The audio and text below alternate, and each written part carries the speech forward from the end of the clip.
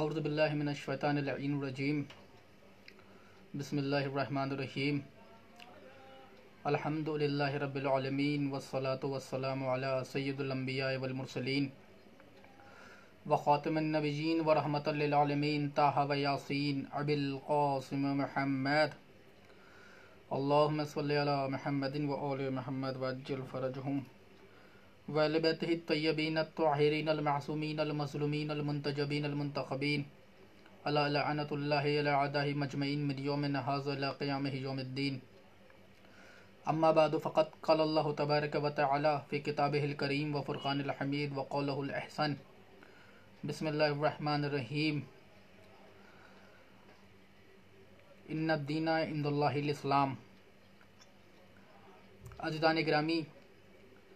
मुहिबान रसूल वाले रसूल, ग़ुलामान पंजतन पाक, आशिकान रसूल वाले रसूल, मातमदारान सईदुलशहदा खुदा वंद आलम का करम है, एहसान है, ज़र्रा नवाजी है कि उसने हमें ये मौका इनायत फरमाया ताकि हम ज़िक्र आल रसूल फिर से कर सकें। अब इसके लिए कोई शर्त नहीं है कि वो रूबरू किया जाए या इलेक्ट्रॉनिक मीडिया के ज़रिए से किया जाए। मकसद ये है कि ज़िक्र आल मोहम्मद हो और वो कैसे भी हो। हमारा आपके सामने मजलिस में यहाँ पर बैठना दलील है कि ज़िक्र आल मोहम्मद किसी भी कीमत पर नहीं रुकता है। चाहे वो कैसा भी माहौल हो, जैसा भी ज़माना हो, कैसी भी हुकूमतें हों, लेकिन ज़िक्र आल मोहम्मद हर ज़माने में जारी और सारी रहता है। ये इसकी दलील, ये करोना वायरस के दौर में भी ऑनलाइन महफ़िलों का होना, ऑनलाइन मजालिस का बरपा होना इस बात की दलील है कि ना कल ज़िक्र आल मोहम्मद रुका था ना आज रुका है। आज उन्नीस रमज़ान को बसिलसिला शहादत मौला कायनात के उनवान पर यह मजलिस बरपा ऑनलाइन करी जा रही है। तमाम सुनने वालों को, तमाम इसमें शरीक होने वालों को, अपनी तरफ़ से और तमाम सुनने वालों की तरफ़ से इमाम ज़माना की खिदमत में उनके जद्द अमजद की शहादत का पुरसा पेश करते हैं। खुदा वंद आलम, कुरान मजीद में इरशाद फरमा रहा है नदीना इंदीन यकीनन तुम्हारे नज़दीक जो दीन है वो इस्लाम है। अजीज़ानी ग्रामी आप देखें कि खुदा वंद आलम ने इरशाद फरमाया कि हमारे नज़दीक जो दीन है, तुम्हारे नज़दीक जो दीन है वो इस्लाम है।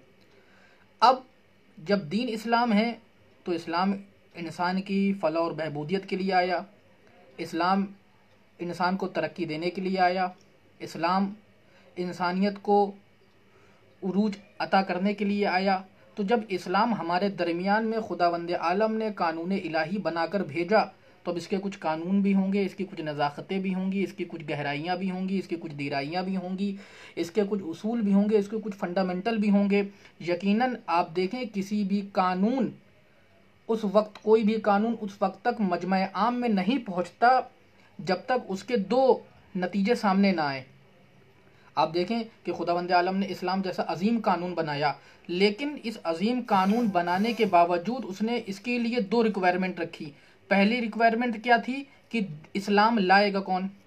दूसरी रिक्वायरमेंट का नाम था कि इस्लाम पहुंचाएगा कौन? यानी आप देखें, कोई भी कानून बने, दुनियावी कानून हो, स्टेट का, कानून हो, गवर्नमेंट का कानून हो, स्कूल का कानून हो, कोई सा भी कानून हो, उसके लिए दो शर्तें होती हैं। पहला कि कानून लाएगा कौन? दूसरा कि कानून बचाएगा कौन? क्योंकि अब ज़ाहिर सी बात है, आप अपने घर में बैठ के कोई कानून बना ले और मजमे तक ना पहुँचे तो उनको कैसे पता चलेगा कि ये कानून बना है, ये गवर्नमेंट ने कानून बनाया है? और दूसरी ज़रूरत का नाम है कि कानून बचाएगा कौन?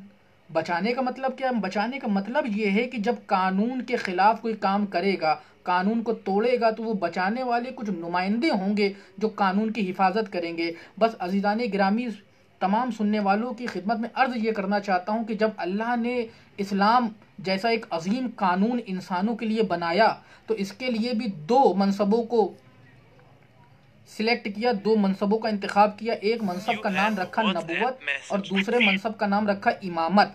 नबूत का काम ये होगा कि दीन लाएगी इमामत का काम ये होगा कि ये दीन बचाएगी। यानी नबूवतों के ज़रिए से दीन लाया जाएगा और इमामत के ज़रिए से दीन बचाया जाएगा। अब चूँकि जनाब आदम से लेकर रसूलुल्लाह सल्लल्लाहु अलैहि वसल्लम तक का जो सिलसिला है, इसको कहते हैं दीन का लाना। और मौलाए कायनात से लेकर इमाम आखरुज़मान तक के सिलसिले को कहते हैं दीन का बचाना। चूँकि ये दोनों सिलसिले गदीर खुम में बिलाफस लुवे थे। रसूलुल्लाह ने अपने हाथों पे मौलाए कायनात को बुलंद करके फरमाया था मनकुन तो मौला हो, फहजा अली मौला। यानी गोया रसूल आलम इस्लाम को बताना ये चाहते थे कि आज से दीन के पहुँचाने के इंतज़ाम ख़त्म हो जाएँगे, आज से दीन के बचाने के इंतज़ाम शुरू हो जाएँगे। और आज मौलाए कायनात का ज़िक्र आपके सामने करना है। आप देखें कि हज़रत अली, चूँकि रसूलुल्लाह ने अपना जानशीन बनाया अपना खलीफा बनाया अपने बाद दीन बचाने वाला बनाया। तो अब ज़ाहिर सी बात है हज़रत अली के लिए ये ज़रूरी था कि अब उसी नक्श कदम पे चलें जो रसूलुल्लाह ने बताया था। पहला सवाल ये उठता है कि दीन कैसे बचाया जाएगा? तो दीन वैसे ही बचाया जाएगा जैस जिस तरह का वार होगा उसी तरह का डिफेंस भी होगा। हज़रत अली अलैहिस्सलाम की ज़ात बाबरकत अपने आप में एक ऐसा मोजिज़ा है कि जिसको समझा नहीं जा सकता। आज लोग परेशान हैं कि वो कहते हैं, मुझे हज़रत अली नहीं समझ में आते। वो कहते हैं, मुझे अली की अदालत नहीं समझ में आती। वो कहते हैं, हमें अली की जंग नहीं समझ में आती। वो कहते हैं, अली की हमें बातें नहीं समझ में आती। कैसे बातें समझ में आए? आप देखें, मेरे तमाम सुनने वालों की नज़र में ये करना चाहता हूँ कि हमेशा अक्ल उसी को नहीं समझ सकती कि जो इंसानी अक्ल से ऊपर हो। और जो इंसानी अक्ल के बाहर हो उसी को हम मोजिज़ा कहते हैं। ज़ात अली इबन अबी तालिब अपने आप में एक मोजा है। ये तो ज़माने की कम इल्मी थी कि उसने अपने आप को हज़रत अली से मिलाने के लिए अपने आप को कह दिया, ये तो हमारे ही जैसे हैं, ये तो हमारे साथ चलते हैं, ये तो हमारे साथ उठते हैं, ये तो हमारे साथ बैठते हैं। लेकिन आप देखें खुदा वंद आलम ने अगर ज़रा आलम इस्लाम और तमाम मुसलमान और तमाम बरदरन ईमानी इस बात पर गौर करें कि खुदा वंद आलम ने जब एक लाख चौबीस हज़ार पैगम्बरों को भेजा तो सबको बराबर नहीं रखा। कोई बड़ा पैगंबर है, कोई उससे छोटा पैगंबर है 313 अलग है, फिर उसके बाद पाँच अलग हैं उलूल अज़म पैगंबर अलग हैं, फिर उसमें से एक सबसे बड़े रसूलुल्लाह सल्लल्लाहु अलैहि वसल्लम अलग है, यानी खुदावंद आलम। ये बताना चाहता है कि जब मेरे भेजे हुए पैगंबर सब एक जैसे नहीं है तो ये कैसे मुमकिन है कि इस्लाम लाने वाले, कलमा पढ़ने वाले, कुरान पर अमल करने वाले, नमाज़ और रोज़ा करने वाले एक हो जाएँ? ये हरगिज़ ही नहीं हो सकता। ये कैसे मुमकिन हो सकता है कि एक शख्स ने क्लास दो पढ़ा हो, दो दर्जे तक उसने तालीम हासिल करी हो और एक शख्स ने पीएचडी करी हो साइंस में तो ये क्लास दो दर्जे तक पढ़ने वाला और साइंस में पीएचडी करने वाला बराबर नहीं हो सकते। बस यही मसला है आलम इस्लाम में और हज़रत अली के साथ। तमाम साहबा कराम की अजमतें अपनी जगह पर है, लेकिन अली की अजमतों का मैार ये है कि तमाम उम्मत मुसलमा वो है कि जिन्होंने ईमान लाया है रसूलुल्लाह के ऐलान करने के बाद, जिन्होंने कुरान पढ़ा है रसूलुल्लाह से कुरान सुनने के बाद, जिन्होंने नमाज़ें पढ़ी हैं रसूलुल्लाह की नमाज़ों को देखने के बाद, लेकिन अली ज़ात सलाम वो ज़ात ग्रामी हैं कि जिन्होंने कुरान पढ़ा है कुरान के आने से पहले, जिन्होंने रसूल को रसूल का है ऐलान रसालत से पहले, जिन्होंने अल्लाह की नमाज़ पढ़ी है रसूलुल्लाह के ऐलान नबूत से पहले। ये कैसे मुमकिन है कि अली तमाम लोगों के बराबर हो जाएँगे? बल्कि आप देखिए, मैं छोटी सी मिसाल दे देता हूँ ताकि बात वाजे हो जाए और मेरे तमाम सुनने वाले नाजरीन इसको महसूस फरमाएँ। आप देखें कि ज़ात अली एक मोजिज़ा है। बस ये दो तीन गुफ्तु सुने और सफ़र तमाम करूँ कि ज़ात अली एक मोजिज़ा है। कैसे मोजिज़ा है? आप अपने इलाके में देखें, अपने घर में देखें, अपने सोसाइटी में देखें तो आपको ये पता चलेगा कि हर आदमी एक वक्त में एक चीज़ का माहिर होता है। मसलन, आपके घर, आपके इलाके में बहुत बड़ा कोई वकील होगा। उससे बड़ा वकील कोई पूरे उस इलाके में नहीं होगा। लेकिन वो एक वक्त में वकालती करेगा। ऐसा नहीं होगा कि वो एक वक्त में बेहतरीन डॉक्टर भी हो। दूसरे को आप देख लीजिए, या किसी के पास हम गए डॉक्टर साहब के पास, इलाज के लिए, कहा, ये कौन है? कहा, ये इस इलाके के सबसे बेहतरीन और सबसे बड़े डॉक्टर हैं। अच्छा ये इस इलाके के सबसे बेहतरीन डॉक्टर है, सबसे बड़े डॉक्टर इनसे अच्छा कोई डॉक्टर नहीं, इससे अच्छा कोई ऑपरेशन करने वाला नहीं, इनके हाथ में बड़ी शिफा है। तीसरे के पास गए। वो बहुत बेहतरीन आलिम थे, बच्चों को पढ़ाते थे। कहीं, इनके मुँह में जो है ऐसी ज़बरदस्त शीरीनी है कि जो भी पढ़ाते हैं, वो बच्चों के दिलों में उतरता चला जाता है। मैंने कहा, ठीक है। तो जो सबसे इलाके के बेहतरीन वकील थे, मैं उनके पास गया और जाके कहने लगा कि, आप इलाके के बहुत बेहतरीन वकील हैं, मेरा बेटा बीमार है, ज़रा आप उसको कुछ दवा दे दें। तो वो बिगड़ जाएँगे। वो कहेंगे कि आप हमसे बदतमीज़ी करने आए हैं। का क्या मतलब? मैं तो आपको तमीज़दार समझ रहा था, मैं तो आपको सलाम कर रहा हूँ, मैं तो आपको आदाब कर रहा हूँ, मैं तो आपको इज़्ज़त और जनाब से बोल रहा हूँ। इसमें मैंने बदतमीजी क्या करी तो वो ये कहेंगे कि मैं वकील हूँ, मैं डॉक्टर नहीं हूँ। अगर मुझसे कोई सवाल करना है तो वकालत के सिलसिले में सवाल करिए, मुझसे ये करिए कि किसकी सज़ा होनी है, किसकी माफ़ करानी है कौन सा केस है कौन सा केस नहीं है। इसी तरह से जब आप डॉक्टर के पास जाएँगे, अगर उससे आप वकालत का सवाल करेंगे तो वो बिगड़ जाएगा। किसी आलिम के पास जाके आप उससे कहेंगे, मेरे घर का नक्शा बना दो तो वो बिगड़ जाएगा। इसका मतलब आप देखिए कि हर आदमी अपने शोबे में माहिर होता है, लेकिन वो एक होता है। डॉक्टर बेहतरीन डॉक्टर होगा, लेकिन अपने शोबे में अकेला होगा। ऐसा नहीं होगा कि वो एक वक्त में बेहतरीन डॉक्टर भी हो, एक वक्त में वो बेहतरीन वकील भी हो, एक वक्त में वो बेहतरीन आलिम भी हो, एक वक्त में वो बेहतरीन इंजीनियर भी हो, एक वक्त में वो बेहतरीन साइंसदान भी हो, एक वक्त में वो बेहतरीन प्रोफेसर भी हो, एक वक्त में वो बेहतरीन तैराक भी हो, का नहीं, एक वक्त में एक ही आदमी होगा, क्योंकि इंसान की ज़िंदगी गुजर जाती है, एक हुनर पे कमांड हासिल करते करते, यानी एक हुनर का शबाब आते आते उसकी ज़िंदगी गुजर जाती है तो एक, दो से ज़्यादा हुनर वो नहीं सीख पाता, जो डॉक्टर जाएगी, इससे ज़्यादा नहीं होगा। जो इंजीनियर होगा, उसकी इंजीनियरिंग सीखते सीखते पूरी उम्र गुजर जाएगी। लिहाजा जो एक वक्त में डॉक्टर है, वो एक वक्त में डॉक्टर बन पाएगा। जो एक वक्त में इंजीनियर है, वो एक वक्त में इंजीनियर ही रहेगा। जो एक वक्त में आलिम है, वो एक वक्त में आलिम ही रहेगा। ऐसा नहीं होगा कि एक आदमी हो और वो एक वक्त में डॉक्टर भी हो, इंजीनियर भी हो साइंसदा भी हो, आलिम भी हो, प्रोफेसर भी हो, पढ़ाने वाला भी हो। और घर का नक्शा बनाने वाला भी हो, नक्शा निगार भी हो, बेहतरीन शायर भी हो, बेहतरीन ख़तीब भी हो, बेहतरीन आलिम भी हो, ये मुमकिन ही नहीं है, क्योंकि इंसान की कैपेसिटी इससे बाहर है, वो इतना सीख ही नहीं सकता। लेकिन अजीज़ान गिरामी, अगर कोई एक ऐसा इंसान मिल जाए, जो एक ही वक्त में सारे फजलो कमाल रखता हो तो फिर उसके लिए क्या कहा जाएगा? ये हम और आप हैं, जो एक वक्त में इंजीनियर ना बन पाए, एक वक्त में डॉक्टर ना बन पाए, एक वक्त में प्रोफेसर ना बन पाए, एक वक्त में आलिम ना बन पाए, एक वक्त में एक ही शोबे पे आलिम हुए हैं। तो ये हम और हम और आप हैं। लेकिन अली के कि मौला अली एक वक्त में बेहतरीन आलिम भी थे, एक वक्त में बेहतरीन आदिल भी थे, एक वक्त में बेहतरीन काजी भी थे, एक वक्त में बेहतरीन बहादुर भी थे, एक वक्त में बेहतरीन खतीब भी थे। एक वक्त में बेहतरीन अदल करने वाले थे। यानी अली एक ही वक्त में उनसे अच्छा कोई बहादुर ना निकला। अली से बड़ा कोई आलिम ना निकला। मौला अली से बड़ा कोई अदल करने वाला नहीं निकला। हज़रत अली से बड़ा कोई सखी व गनी ना निकला। इसका मतलब तमाम फजलो कमालात इस तरह से हज़रत अली इबन अबी तौलिब में जमा किए गए हैं कि जैसे तमाम फजीलतें चाहती हैं कि हम अली की तरफ़ हो जाएँ। तो इसका मतलब अजीज़ान गिरामी मेरा कहने का मतलब ये है और ये जुमला कहने को जी चाहता है कि जो तमाम शहरतों की तरफ़ बढ़े, उसे आवाम कहते हैं और शोहरतें जिसके कदम चूमे, उसे इमाम कहते हैं। यकीनन, आज 19 रमज़ान, ज़रबत मौलाए कायनात का दिन है। हमारा और आपका जहाँ पे जमा होना इस बात की दलील है कि हम हज़रत अली से मोहब्बत करते हैं। हम बड़ा बेचैन हैं अपने मौला को खराज अकीदत पेश करने के लिए। इसीलिए हम कभी ऑनलाइन ज़िक्र करते हैं, कभी महफिलें बर्पा कर रहे हैं, ताकि दिलों को कुछ तस्कीन अता हो। ज़ात अली इबन अबी तालिब अपने आप में एक मोजा है, जो एक वक्त में सारे कमाल को घेरे हुए हैं। यानी यूँ कह दिया जाए कि अली उस काबे का नाम है कि तमाम शहरतें मौलाए कायनात का तवाफ़ कर रही हैं। अच्छा आप देखें, आप अपनी ज़िंदगी से देखें हज़रत अली को ज़रा समझें कि हज़रत अली इबन अबी तालिब कैसे मोजा है। एक पहलवान है आपके इलाके का बहुत बड़ा पहलवान है। उसके सामने कोई टिक नहीं पाता बड़े बड़े पहलवान उसके सामने जेर तस्लीम हो जाते हैं। कोई उसके आगे उसकी शजात के आगे टिक नहीं सकता।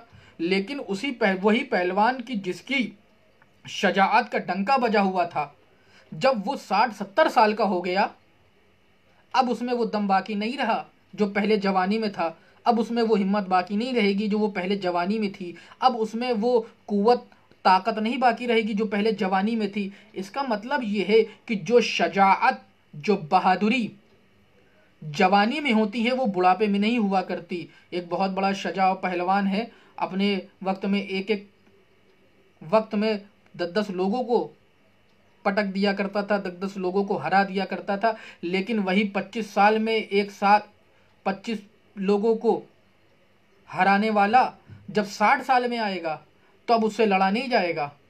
अब उससे जंग नहीं करी जाएगी, अब उससे शजात नहीं करी जाएगी, क्योंकि इंसान की फितरत है कि उसकी शजात का पैमाना जैसे जैसे उम्र बढ़ती है, पैमाना शुजात घटने लगता है। जैसे जैसे इंसान की सिन बढ़ती है, उसकी ताकत कम होने लगती है। तो ये आप और हम हैं कि जिनकी उम्र बढ़ने के साथ ताकत कम होने लगती है। लेकिन वो अली इबन अभी तालिब थे कि जब बद्र में लड़े हैं तो 25 साल के थे, और जब जंग सिफीन में लड़े तो 60 साल से ज़्यादा थे। लेकिन जो जज्बा और जो सूरत हाल जंग बद्र में थी, वही जंग सिफीन में भी थी। कोई मुर्रख कोई राइटर, कोई तारीख लिखने वाला ये नहीं कह सकता कि अली जंग बद्र में 25 साल के थे तो बहुत भारी भारी हमले किए और चूँकि जंग सिफीन में आप 60 साल के हो गए थे तो इसलिए ज़यीफ़ हो गए थे और आप जो है धीरे हमले करते थे, लोग आपसे डरना कम कर दिए थे, लोग आपके सामने आ नहीं रहे थे, कहा नहीं, अजीज़ान गिरामी, अगर आप तारीख को पढ़ें तो लोग ये कहने पर मजबूर हो गए हैं कि जो शबाब अली की शजात का पच्चीस साल जंग बद्र में था, वही शजात का शबाब साठ साल की उम्र में जंग सिफीन में भी है। वही शबाब का, शजात का शबाब जंग नहरवान में भी है। वही शबाब शजात जंग जमल में भी है। ये जंग जमल हो गया, जंग नहरवान हो गया, जंग सिफीन, ये हज़रत अली ने साठ साल से ऊपर में लड़ी हैं। अगर इंसानी ताकत का तकाजा होता और अगर हज़रत अली हमारे और आप जैसे होते तो शजात तो घटनी चाहिए थी ना। लेकिन नहीं, जंग सिफीन का आलम यह है कि जनाब मालिक अश्तर फरमाते हैं कि जब दुश्मनों ने रात में हमला करा जिसे लैलतुल हरीर कहते हैं। और हज़रत अली अपने खेमे से बाहर निकले। चेहरे अकदस पे वो जलाल था कि जनाब मालिक अश्तर फरमाते, मैं मौला का चेहरा देख के खौफजदा हो गया। आलम यह है हज़रत अली इबन अबी तालिब का कि फ़कत एक कुर्ता पहने हुए हैं, सर पे खोद नहीं है, बाल बिखरे हुए हैं और जीन पे आके बैठ गए। और हाथ में तलवार भी नहीं है। रात का आलम है और हज़रत अली दुश्मनों के नरगे में चलते चले जाते हैं और एक नाला बुलंद करते हैं कि या हु, या मल्ला इला हु।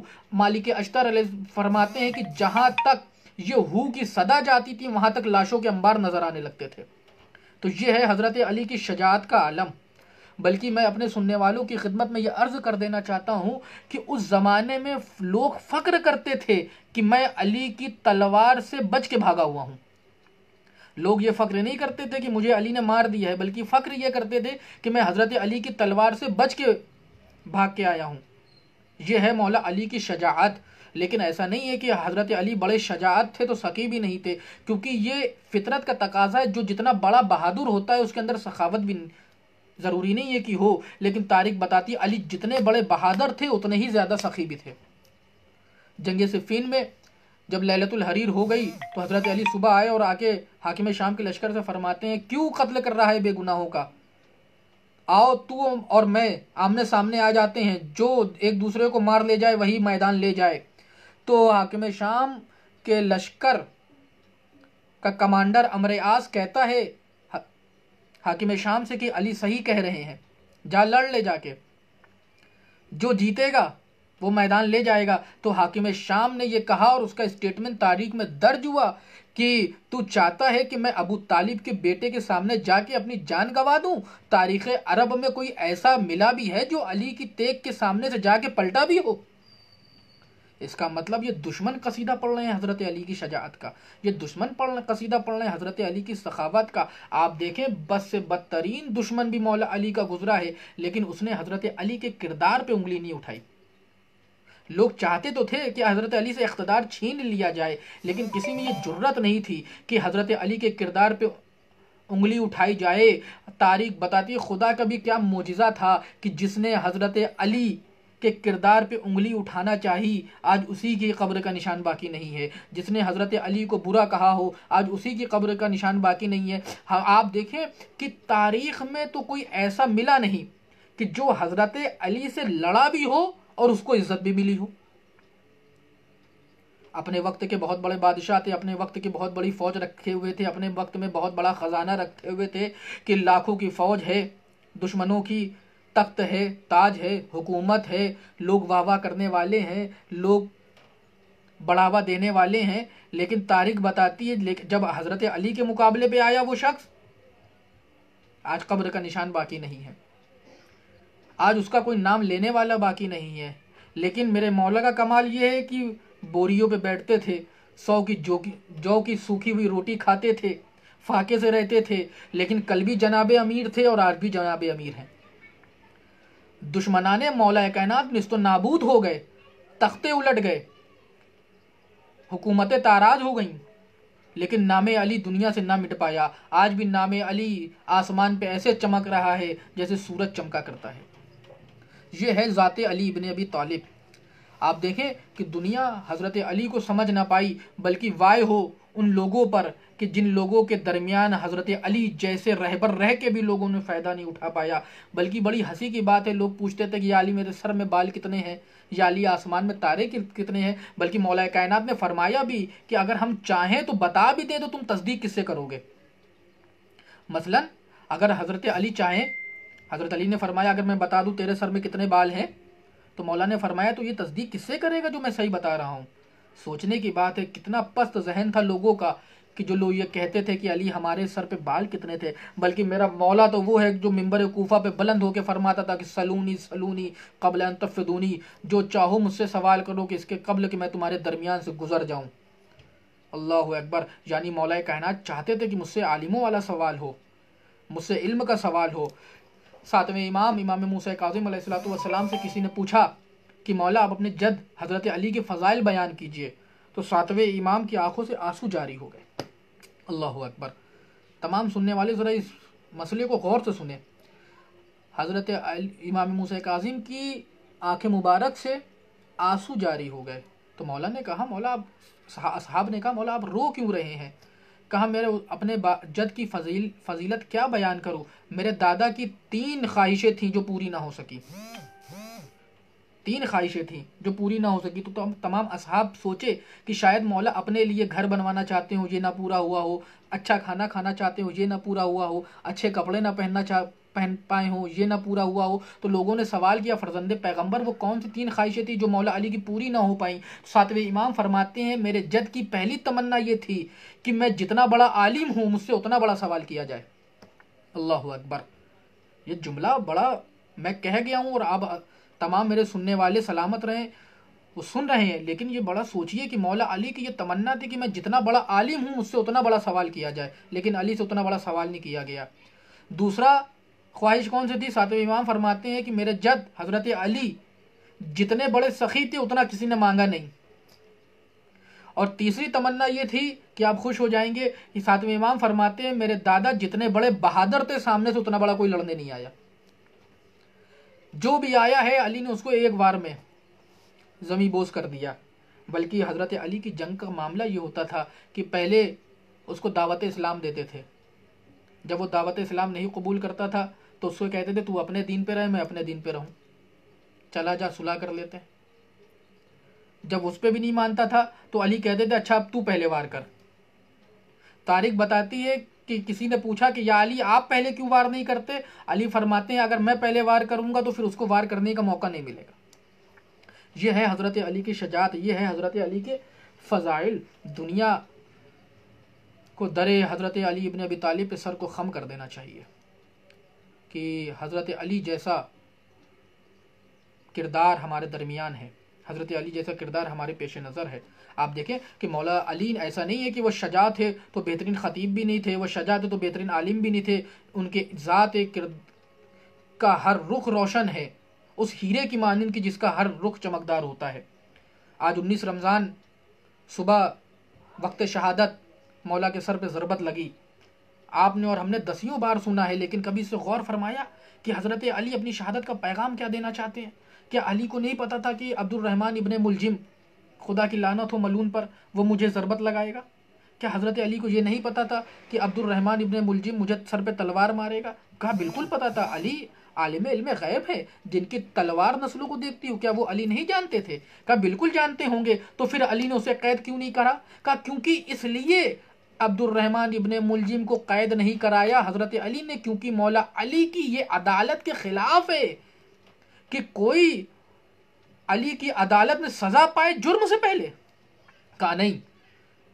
अभी कैसी सजा जब इसने जुर्म ही नहीं किया हो ये है, हम और आप अगर मनसब इकतदार पे होते और हमें पता चल जाता ये हमारा कातिल है, ये हमारे कत्ल करने का मंसूबा बना रहा है तो हम उसे गिरफ़्तार करा लेते, हम उसे पकड़वा लेते, हम उसे जेल में भिजवा देते। लेकिन अली को पता भी है कि ये शख्स अब्दुलरहमान इबन मुलजिम, खुदा की लानत हुई इस पर यह हमें कत्ल करेगा, हमारे सर पे ज़रबत मारेगा, लेकिन अली उसे पकड़वाते नहीं है, गिरफ़्तार नहीं कराते, बल्कि अली चौथे खलीफा की सूरत से इस समय है, मौजूद हैं। का क्यों? का अली की अदालत में बगैर जुर्म के सज़ा नहीं है।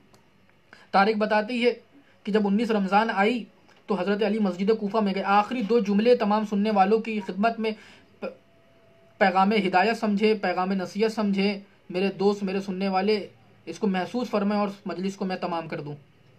जब हज़रत अली 19 रमज़ान को मस्जिद कोफा में गए तो क्या देखा कि अब्दुलरहमान इबन मुलजिम है कि खंजर लगाए हुए, सीने के भल लेटा हुआ है। क्योंकि अली इमाम वक्त है जानते हैं कि ये किसी इरादे से आया है। आप गए और आप जाके उसके पास ठोकर मार के फरमाते हैं कि मैं जानता हूँ कि तू किस इरादे से मस्जिद में दाखिल हुआ है। लेकिन मैं ये चाहता हूँ कि ये खुदा की इबादत का वक्त है तू पहले चल के नमाज़ पढ़ ले। अल्लाह अकबर। ये जुमले हमने हज़ार मरतबा सुने हैं लेकिन हमने कभी इस पर गौर खोज करा है? कभी फ़िक्र करी है, अली अपने कातिल से फरमा रहे हैं कि मैं जानता हूँ कि तू किस इरादे से आया है, लेकिन पहले तू चलकर खुदा की इबादत कर, ये इबादत इलाही का वक्त है।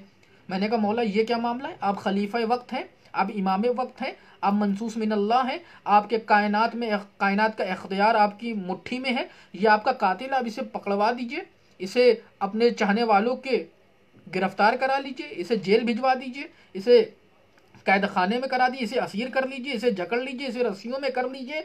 कहा, नहीं, हज़रत अली अपने कातिल को क्या कह रहे हैं कि मैं जानता हूँ, तू किस इरादे से आया है, लेकिन ये अल्लाह की इबादत का वक्त है। पहले चल के तू नमाज़ पढ़ ले। यानी अली अपने कातिल को दावत नमाज़ दे रहे हैं। मैं कहूँगा, मौला अपने कातिल को दावत नमाज़ क्यों दे रहे हैं? तो शायद हज़रत अली मस्जिद कोफा से आवाज़ दें, ताकि मेरे चाहने वालों का एक मैार कायम हो जाए। अली के शियों का एक स्टैंडर्ड बन जाए, ताकि अली के शिया ये सोचने पे मजबूर हो जाएँ कि जब हज़रत अली को अपना कातिल बेनमाजी गवारा नहीं है तो अली को अपने चाहने वाला बेनमाजी कैसे गवारा होगा? इसका मतलब हमें इस जुमले पे सोचना चाहिए गौर खौस करना चाहिए कि अली को गवारा नहीं कि उसको जाए। तो ये कैसे मुमकिन है कि अली का चाहने वाला बेनमाजी रह जाए? ये है ज़ात अली बिन अबी तालिब। वसलाम हम खुश नसीब हैं कि हमारे सीने हज़रत अली की मोहब्बत की ठंडक महसूस करते हैं। हम खुश नसीब हैं कि हम हज़रत अली की मोहब्बत अपने दिलों में लिए फिरते हैं। हम खुश नसीब हैं कि हमें हज़रत अली की विलायत पे पैदा किया गया। बस अजीज़ान ग्रामी सफ़र को तमाम करता हूँ। चंद जुमले मसाइब के और मजलिस को तमाम करता हूँ। बड़ी क़यामत का दिन है आज। आज मामूली दिन नहीं है। तारीख बताती है कि हज़रत अली इबन अबी तालिब सलाम जब सुबह उन्नीस से पहले अपनी बेटी उम्म कुलसूम सलाम के घर में मेहमान हुए और सहरी आपने वही फरमाई। तारीख बताती है कि मौला अली चाहते हैं कि सहर करके मस्जिद की तरफ़ जाया जाए। लेकिन जब निकलते हैं तो कभी मुर्गाबियाँ आपका दामन पकड़ लेती हैं। कभी जंजीर दर आपका दामन पकड़ लेती है। यानी सब गोया अपनी ज़बान में कह रहे हैं कि मौला आपके बगैर अब ये दुनिया सूनी हो जाएगी। आपके बगैर ये दुनिया वीरान हो जाएगी। या अली ना जाइए। लेकिन क्या कहने उस हज़रत अली इबन अबी तालिब के, कि जिसने खुदा से वादा कर लिया है अब उसे दुनिया धोखा नहीं दे सकती? तारिक बताती है, अली मस्जिद अपनी बेटी के घर से बाहर निकले और मस्जिद कोफा आए। मस्जिद कोफा आए मैं कैसे जुमले अर्ज़ करूँ कि मौला अली की शहादत बड़ी सख्त है। हज़रत अली की शहादत बहुत सख्त है। चाहते हैं नमाज़ पढ़ें, नमाज़ के लिए खड़े हुए, तमाम चाहने वाले भी खड़े हुए, उसमें मलून अब अब्दुलरहमान इबन मुलजिम भी खड़ा हुआ। हज़रत अली ने पहला सजदा किया। अब चाहते हैं कि दूसरे सजदे से अपना सर उठाएँ कि इधर अब्दुलरहमान इबन मुलजिम ने तलवार उठाई और हज़रत अली के सर अकदस पे वार किया। तारीख बताती, इधर से तलवार की शिद्दत, उधर से अली का सर उठ रहा है। कराम लिखते हैं मुफसरीन लिखते हैं कि इतनी शिद्दत थी हज़रत अली की तलवार, सर अकदस पे जो तलवार ज़रब लगी है, कि तलवार की धमक से मस्जिद का चराग गुल हो गया। अल्लाह अकबर। बस ये कहना ही था कि एक शोर गुल बरपा हो गया सजदे में शेर हक का दोपारा हुआ जो सर। सजदे में शेर हक का दोपारा हुआ जो सर। एक बार कांपने लगे मस्जिद के बामोदर। उबला लहू के हो गई मेहराब खूम में तर। एक जलजला के बस हुआ नाजिल ज़मीन पर। गर्दों पे जिब्राइल पुकारे गज़ब हुआ। सजदे में आज कत्ले अमीर अरब हुआ। अल्लाह अकबर, जैसे ही हज़रत अली के सर अकदस पे ज़रबत लगी, हज़रत जबरील ने आसमान पे सदा दी कत कतला अमीरमिन हज़रत अली कत्ल कर दिए गए। आज तमाम शरीयत के अरकान मुनहदिम हो गए। तारिक बताती, ये सदा अपने घर में जनाब ज़ैनब ने सुनी। एक बेचैनी होने लगी, एक इस तरह की कैफियत होने लगी। जनाब ज़ैनब दर पे खड़ी हो गई। तारिक बताती है मौला के चाहने वालों ने हज़रत अली को एक गलीम में लिया और लेके घर की तरफ़ जाने लगे। बस आखिरी के जुमले हैं और सफ़र तमाम है। अभी जैसे जैसे घर जाते जाते हैं चाहने वाले पीछे पीछे चलते चले आते हैं। अली आगे आगे जा रहे हैं। चाहने वाले पीछे गिरिया गिरिया करते चले जा रहे हैं। लेकिन जैसे ही हज़रत अली का घर करीब आया, बेटा हसन को बुलाया है मेरे लाल हसन ये चाहने वालों से कहो कि अब तुम पीछे चले जाओ। ऐसा ना हो कि मुझे इस हाल में देखे तो मेरी बेटियों की आवाज़ें बुलंद हो जाएँ। और मैं नहीं चाहता कि मेरी बेटियों की आवाज़ इनके कानों में आ जाए। तारीख बताती है। हज़रत अली जैसे ही घर में गए, जनाब जैनब ने अपने बाबा का ज़ख्मी सर देखा। ज़ारो ख़तार रोती हैं, चीख मार के रोती हैं। अपने बाबा के सराहने आके बैठ गई। दो जुमले और सफ़र तमाम है। हज़रत अली के सराहने आके बैठी। सर को देखती हैं, रोती हैं। सर को देखती हैं, रोती हैं। मौला अली ने सवाल किया, बेटा जैनब, मेरे सर को देख के इतना क्यों रो रही हैं? हज़रत जनाब जैनब फरमाती है बाबा, आपके सर में ज़ख्म बहुत गहरा है। मौला अली सलवार सवाल करते हैं, बेटा जैनब, ये बताओ कि मेरे सर में ज़ख्म कितने हैं? कहा बाबा, ज़ख्म तो एक है, लेकिन गहरा बहुत है। जैसे ये जुमले सुने तो अब अली रोने लगे। मौला अली को रोते हुए देख के बेटी ने अपना सर मौला के सीने पर रख दिया। बाबा, अब आप क्यों रोते हैं? आपके रोने की क्या वजह है? हज़रत अली रो के फरमाते हैं, मेरी जैनब, तुमसे मेरा सर का एक ज़ख्म नहीं देखा जा रहा है। ज़ख्मों से चूर हुसैन को करबला में कैसे देखोगी? आलम यह होगा कि उन्नीस सौ हैं, ज़ख्म तने चार। चाक चाक पर जैनब निकल हुसैन तड़पता है खाक पर। अल्लामीन इन्ना व इन्ना राजऊन। रज़न बेक़ज़ा व तस्लीम अमर। क़तलत अमीरुल मोमिनीन। अल्लाहुम्मन क़तलत अमीरुल मोमिनीन। अल्लाहुम्मन क़तलत अमीरुल मोमिनीन। खुदा बंद आलम, आप हज़रात, तमाम लोगों को शरीक होने वाली की तमाम दिली हाजात को पूरा फरमाए। जितने भी हमारे लोग हमारे साथ जुड़े हुए भी हैं और जो ऑनलाइन मजलिस और महफिलों में शरीक हो रहे हैं, जो इसके इंतज़ाम कर रहे हैं, उनके तमाम दिलों की हाजात पूरी फरमाएँ। मौला, हम बहुत शर्मिंदा हैं कि आपका गम उस तरह से नहीं मना सके जिस तरह से हमें मनाना चाहिए था। आइए हम और आप मिल के इमाम ज़माना की खिदमत में दुआ फरमाते हैं कि अपना जहरा कुछ ऐसा मुजज़ा दिखाएँ कि हम आपके जद अमजद का गम ठीक से मना सके। मौला हमारा ये पुरसा कबूल फरमाइए। रबना तकबल मिन्नका तस्समीम वाखरुद्दावाना अलहमदिल्ला रबालमीन